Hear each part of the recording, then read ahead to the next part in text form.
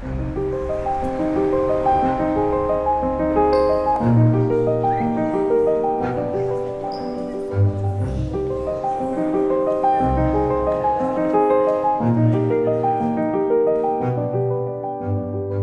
bin Felix, Küchenchef im Parkhotel Fitzner, verantwortlich für die äh, wunderschöne Seeterrasse hier draußen direkt am See.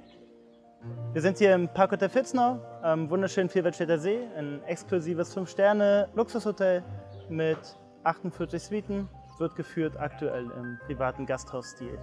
Einzigartig in der Lage und in der Ausstattung. Privat geführtes Gasthaus, was nur ausgesuchte, einzigartige Produkte verwendet, sowohl im Wein als auch im Food-Bereich.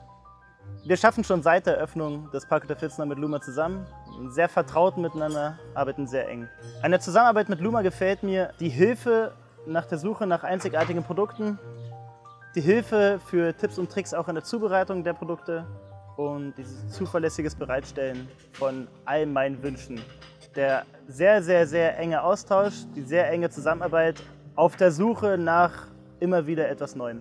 Das aktuelle Lieblingsprodukt was ähm, wir seit letztem Jahr sehr, sehr, sehr gut und schön verkaufen, ist die alte Kuh, beziehungsweise auch das Swiss Black Angus Cutlet, ähm, was wir seit diesem Jahr exklusiv bekommen dürfen. Wir bereiten es auf dem Big Green Egg zu, direkt vor den Augen der Gäste.